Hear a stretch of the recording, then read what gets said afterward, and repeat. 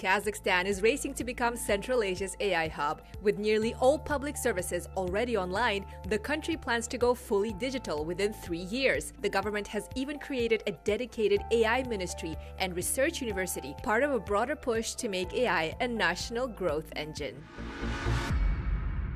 Welcome to East West Connect. We're highlighting business and economic developments in Kazakhstan and the wider Central Asia region, connecting with Europe and beyond.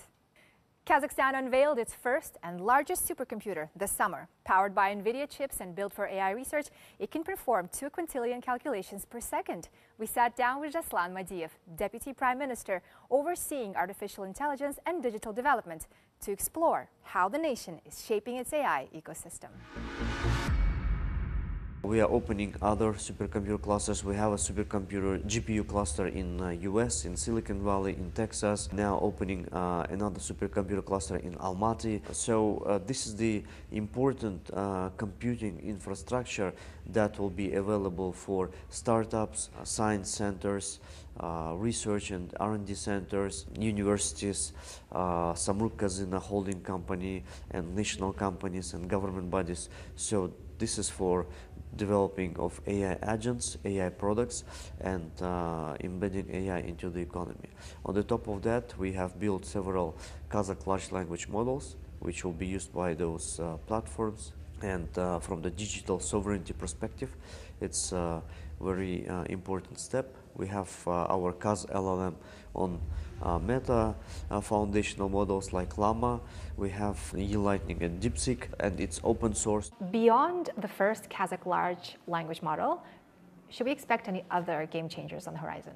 Alem AI International AI Center is like a big funnel starting from the general public and uh, going through the kids, students, startups, uh, big techs, and the best solutions will be embedded into the economy sector. It's a big center of competence, 20 plus thousand square meters building, eight floors. On the second and third floor, we will launch uh, Tumo Education, school kids of age of 12 to 18. Uh, will cover 11 areas, generative AI, robotics, uh, 3D modeling, filmmaking, music making, so the creative industry also will be covered. On the fourth and fifth floor we'll be having uh, tomorrow school launching it together with Nicolas Sadirac a famous uh, entrepreneur from france on the uh, sixth floor uh, we will have AI campus for startups uh, with our uh, acceleration programs. We are exclusive partner of Google for Startups. We have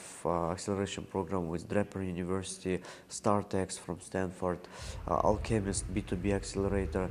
We have our own homemade accelerator program uh, AIpreneurs, where people come as individuals. We give them data sets, uh, GPUs, we give large language models and they graduate as startups. So it's, it will be like uh, the factory of startups. On the seventh floor, we'll have uh, big tech offices, R&D labs, AI centers. Mr. Deputy Prime Minister, thank you so much. Thank you. My pleasure. Kazakhstan is positioning itself as Central Asia's gateway to global tech, connecting startups, investors, and policymakers under one roof in Astana.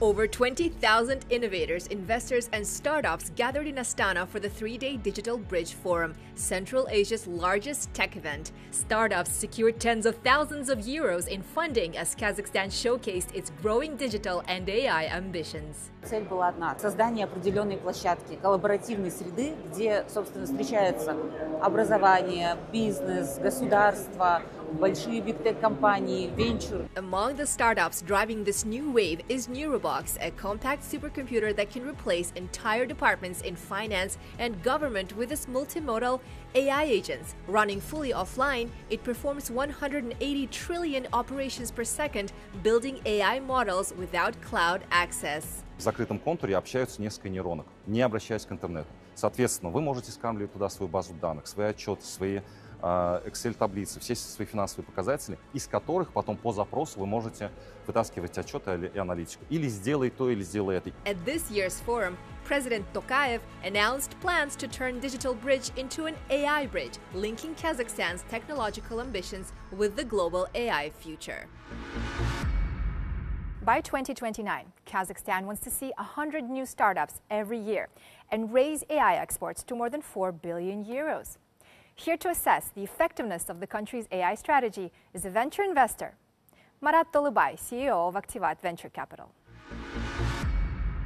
Mr. Tolubay, welcome. So my first question is, what would convince investors watching us today to take a closer look at Kazakhstan's AI ecosystem? Венчурный рынок в целом э, всего нашего региона, Центральной Азии и Кавказа, развивается в последние годы очень большими темпами.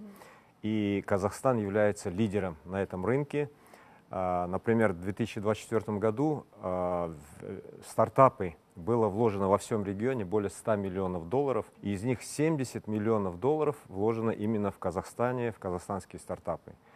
Сейчас у нас э, на рынке около 20-25 специализированных фондов, компаний, которые вкладывают только в стартапы. Постоянно действующих около полторы тысячи стартапов. Этот рынок развивается очень мощными темпами. Казахстанский стартап Hicksfield стал первым единорогом. Оценку больше 1 миллиарда долларов США получил. Но есть и ряд других стартапов казахстанских, которые вышли на международный рынок. Do Kazakh uh, startups attract any international co-investors, or are they still largely dependent on domestic capital? У нас стандартная схема такая, что стартап, показавший свои хорошие результаты на местном рынке, он получает инвестиции от казахстанских инвесторов и выходит на международный э, рынок. Но у нас уже есть ряд стартапов, которые уже получили инвестиции от э, иностранных э, инвесторов. Тот же Hicksfield, снова еще раз упомяну, Leaping AI, Alma. Это стартапы, которые получили американские инвестиции.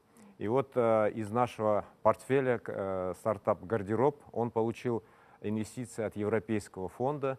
Главное преимущество сейчас казахстанских э, стартапов в том, что и, ИИ стартапов с искусственным интеллектом, то, что казахстанские стартапы сейчас э, сильно недооценены. На стадии пресид э, казахстанские стартапы стоят миллион-два долларов США и поднимают раунды 200-300 тысяч долларов.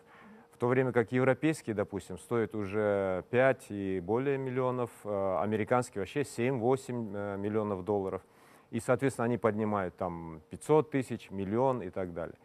У нас в Казахстане очень талантливые ребята, которые могут делать точно такие же стартапы, но э, они стоят дешевле, и сейчас выгодно в них вкладывать деньги до того, как они превратились э, в единорогов. Thank you so much for your insights. Thank you. That's all for now. See you in the next episode of East West Connect.